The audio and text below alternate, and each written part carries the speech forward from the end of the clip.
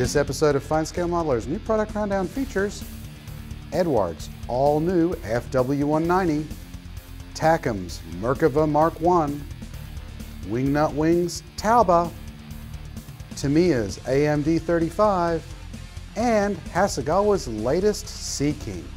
New Product Rundown, proudly brought to you by Hobbico, distributors of fine model kits from Italeri. Welcome to the New Product Rundown. I'm Elizabeth Nash, here with Aaron Skinner to show you some of the latest releases. I don't know about you, Aaron, but I feel pretty alive after the last show. Not me. If anything, I feel dead on my feet.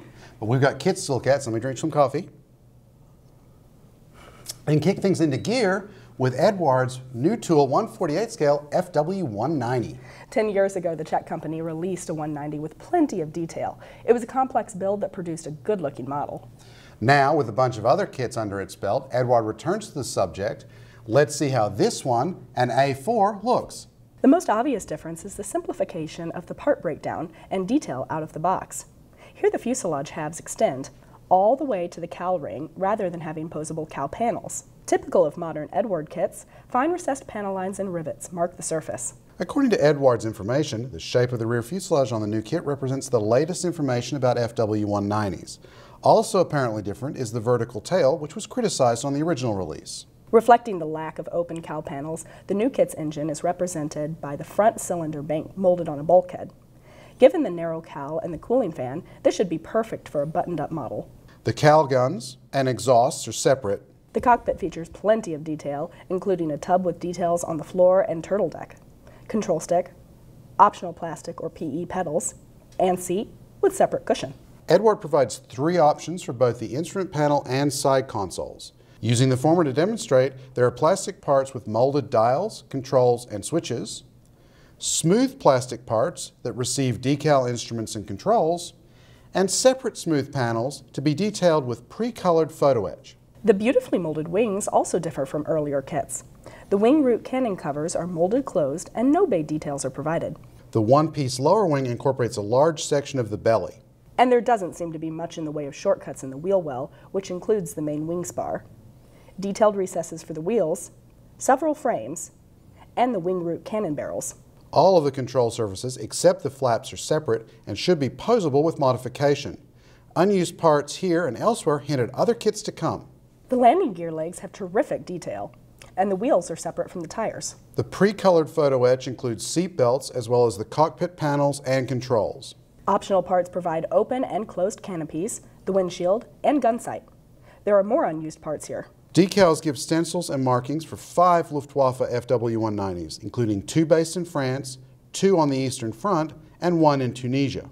It looks like this will easily build up into a good looking replica of a buttoned up fighter, but if you want extra detail, Eduard's got you covered with a series of aftermarket sets, including photo etched flaps. PE exterior details, including landing gear doors and shell ejection port details, a Brassin replacement cockpit with PE details, fuselage guns also from Brassin with the back of the engine and ammunition boxes, and a Brassin engine that provides all the detail absent from the kit, including both cylinder banks and mounts.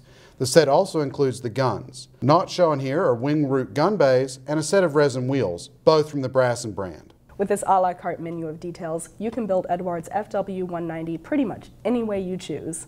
Israeli armor is perennially popular with modelers, and manufacturers have graced us with several kits of the more recent generations of the IDF's main battle tank, the Merkava. But it's been many years since a new first generation Merkava hit workbenches. Now, Takom's given modelers not one but two Mark 1s. There's the straight Mark 1 with all of the features of the first 250 build. And the Mark I hybrid tank represented by this kit, which features upgrades implemented after the tank's first saw combat in Lebanon in 1982. The well-molded lower hull has seams, suspension attachment points, and hatches. Rather than torsion bars, the Merkava uses coil-sprung bogies. The kit molds each pair of arms and springs together, and they mate with separate shock absorbers, return rollers, and external bogie sections. Jigs align the road wheel arms as the glue sets. They also serve as forms to construct the link and length tracks. The inner road wheels are single pieces, but four parts comprise the outer wheels, including the wheel, two-part tires, and a hub. The first road wheel on each side is different from the others with lightning holes.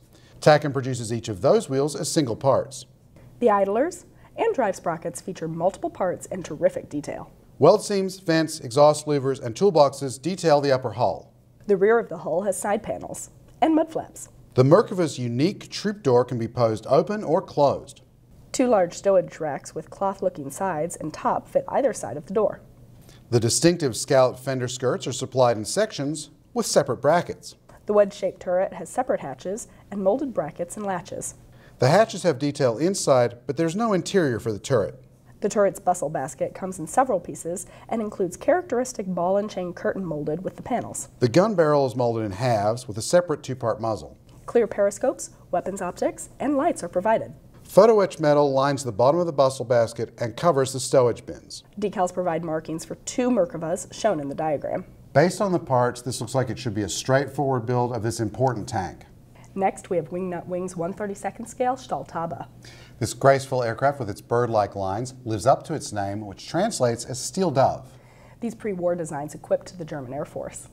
Unarmed, the two-seat aircraft performed reconnaissance over the Western Front in the early days of World War I. The kit's cockpit includes a floor that doubles as the belly, bulkheads, fuselage framing, fuel tank, seats, and control wheel. Engine bearers up front support one of two power plants, either a Mercedes D1 or an Argus AS3. Both options include multi-part engine blocks, plumbing, ignition, and exhausts. The pilot and observer's positions, as well as the engine, are sandwiched by fuselage halves that feature raised and recessed surface details. The symmetrical vertical stabilizers and tail skid are molded with one half. Separate cowl panels and external radiators complete the nose.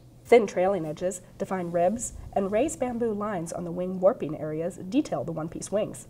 The wedge-shaped horizontal stabilizer is a single thin piece. Two options are given for the open-spoked wheels. There's two-part plastic wheels with thin spokes and one-part wheels with photo-etched spokes and rims. There's a clear windscreen. Cartograph decals and detailed color diagrams provide markings for five Taubes. And there's a rigging diagram to get the warping system just right. Photo etch separators connect single lines into multiple lines. This is a unique airplane, and Wingnut Wings has done it up nicely here. From Tamiya, we have a 135th scale AMD 35 armored car. This is a reboxing of ICM's kit with a figure and diorama parts added. Armed with a 25 millimeter main gun, the AMD 35 was deployed across French army units when Germany invaded in 1940. One of the highlights of the kit is the inclusion of an interior with a floor and walls. Exterior engine grills on the multi-part body are crisply molded, and there's part of a fan in the engine bulkhead. Besides the engine with exhaust, intakes, and some plumbing, the fighting compartment has front and rear driver's positions, ammunition cans, ready rounds, and doors. The turret has separate front and rear panels, and the main gun is molded in halves with an open muzzle. The main body comes in three parts with fine rivets and leaf springs molded with the sides.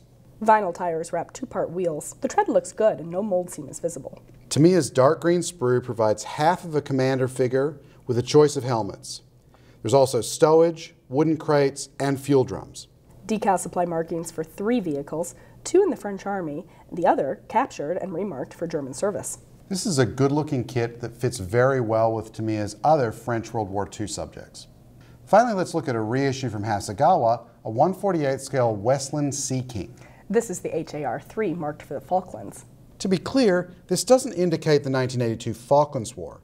The two aircraft included on the decal sheet served with RAF units in the islands, number 78 Squadron in 1990 and number 1564 Flight in 1983. The basic kit has been around for several years and includes fine recessed panel lines on the fuselage. The interior is limited to a fairly well-appointed cockpit with instruments, seats, controls, and walls.